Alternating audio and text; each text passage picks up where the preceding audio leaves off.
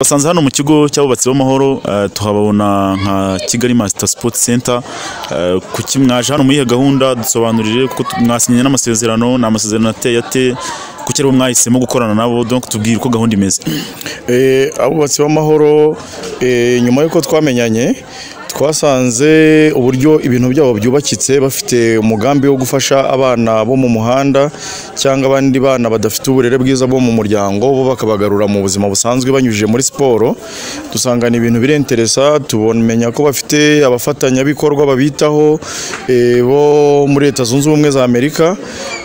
Turebye dusanga brand yacu kuko abantu bayikanga ngo ni brand iturutse i Buraya.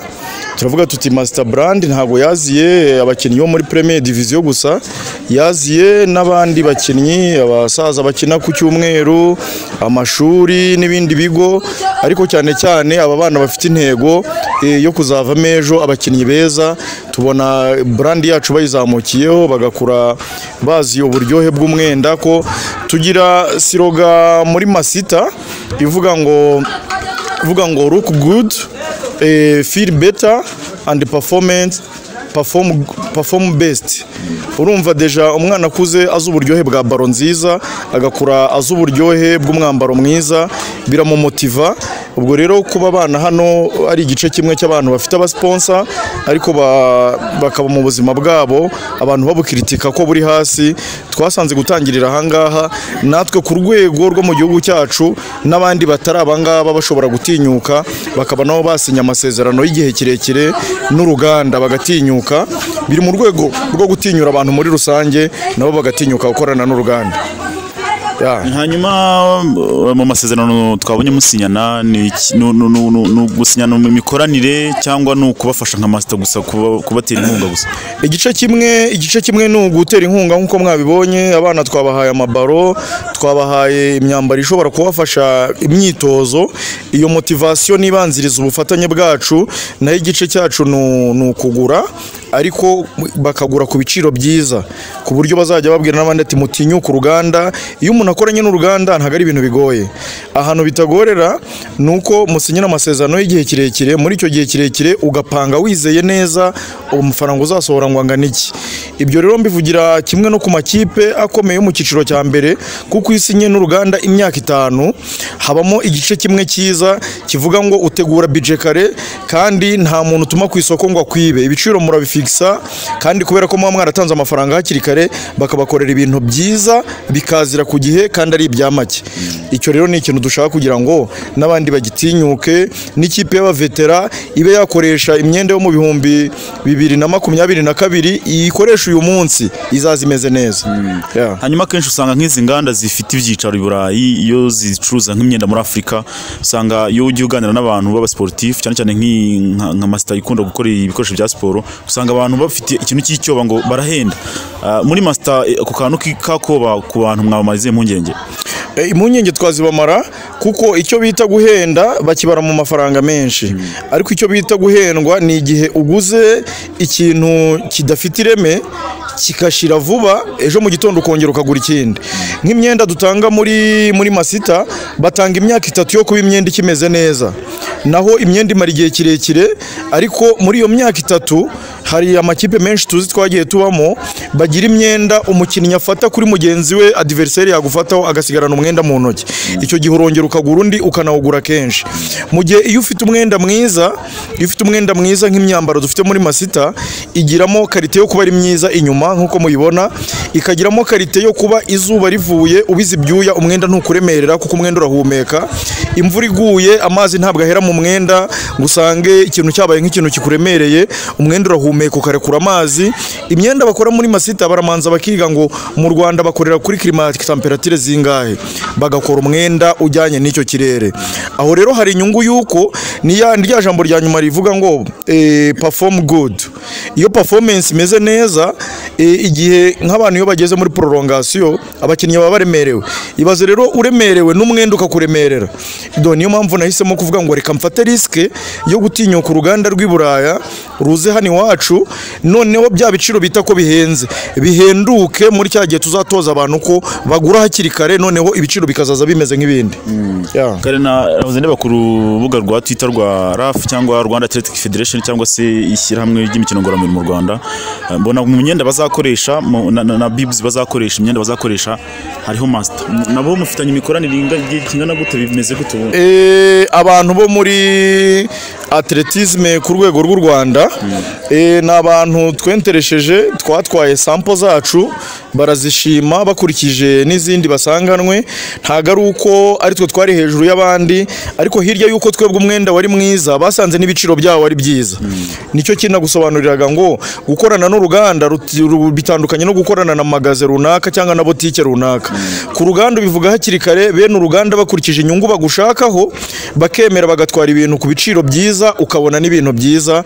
Ntekereza ko umuntu ushobora kuzabona staff ya marato ushobora kuzabona abantu biruka akabona umwenda twatanze wese azagira amatsiko yo kumenya ngo ese barawigondeye? Ariko ni umwenda w'abahorandi ukunzwe ku rwego rw'i Buraya naravuze ngo kubera iki se nanjye ntafata risike? Ngo no mu Rwanda iwacu bambare neza. Urabona maraso peace marathon iri international. Aba adversaire bazaba bahari basange mu Rwanda tumeze neza. Umwenda uzawubona iyo abastafu twa bifuje ko hajyaho visit Rwanda. Visit Rwanda mu mwambaro mwiza rero hari icyo bisobanuye mu buzima bwa kampani yacu buri imbere. Yeah. murakoze cyane. Urakoze cyane. Nitwa Apolline Kabera bazubagira hanyuma ndi umupasiteri mu itorero Anglikani nkaba n'umwarimu muri kaminuza. Ubwo izo prefixes ku mazina yawe wazitwongereraho? Nitwa Reverend Dr. Apolline Kabera bazubagira tugusanze hano uri umuyobozi wa hano mu- muri iki kigo tugusanzemo cyitwa gute ukoramo ufitemo ihe poste mbese muri rusange? Iki kigo mu nsanzemo ah, ni igihe ugikuriye ubundi batwita abubatsi b'amahoro mu kinyarwanda cyangwa se amahoro buwiridazi twahisemo kugumana ijambo ry'amahoro kuko ni rigari mu kinyarwanda. Hanyuma nubwo ari ryo ugikuriye ah, ndi n'umwe mu bagitangije turi cumi na bane hanyuma n'abakozi batandatu. Mwagitangije rya rugo.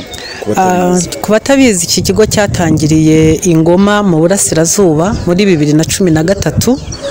Hanyuma bibiri na cumi na karindwi ni ho cyatangiriye hano mu dusanze.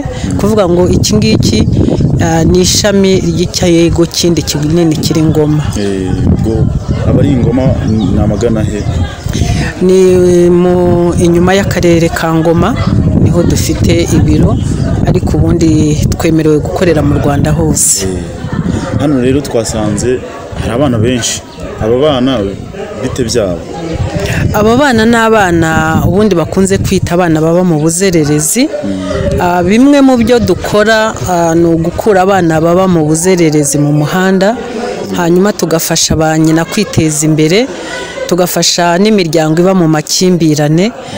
Mbese du- twumva dufite intego yagutse yo gufasha umuryango nyarwanda kubaho neza no kwiteza imbere. Hanyuma umwana kugira ngo abagereho hano bica mu zihe nzira? Mwabibonye ko dufite abakozi beza babihuguriwe kandi babishoboye. Ah, nibo babasanga aho bita mu ngangi aho baba bari. Hanyuma noneho bakabatumira bamara kubatumira abana iyo babemereye baba- babatumira kuza hano.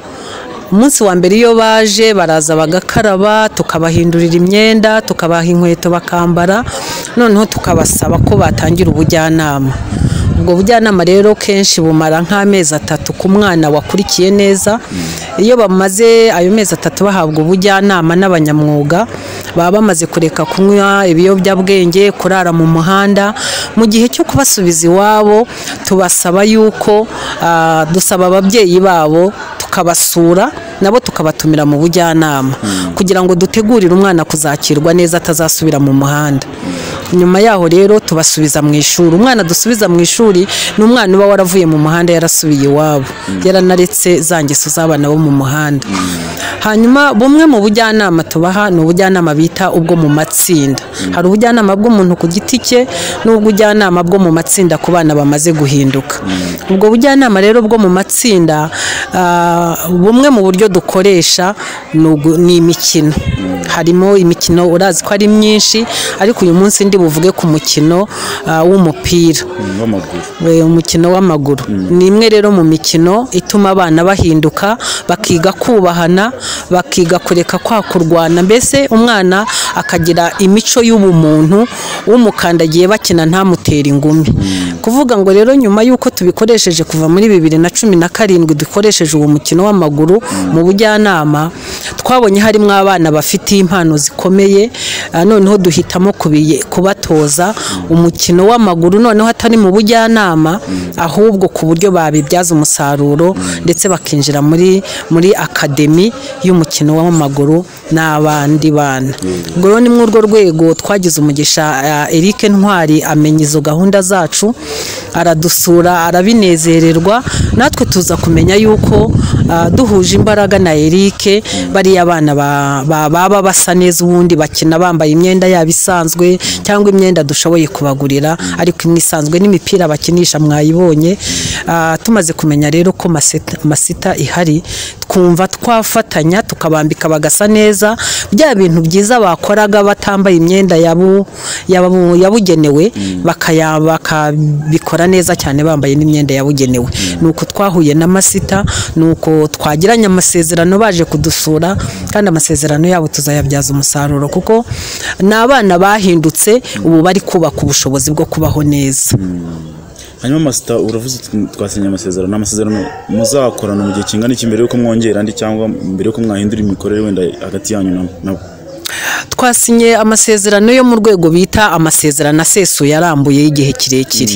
Kubera ko ntabwo twenda kurekera aho n'aba bana. Aba bana mwabonye ni bake cyane mu bana benshi cyane dufite.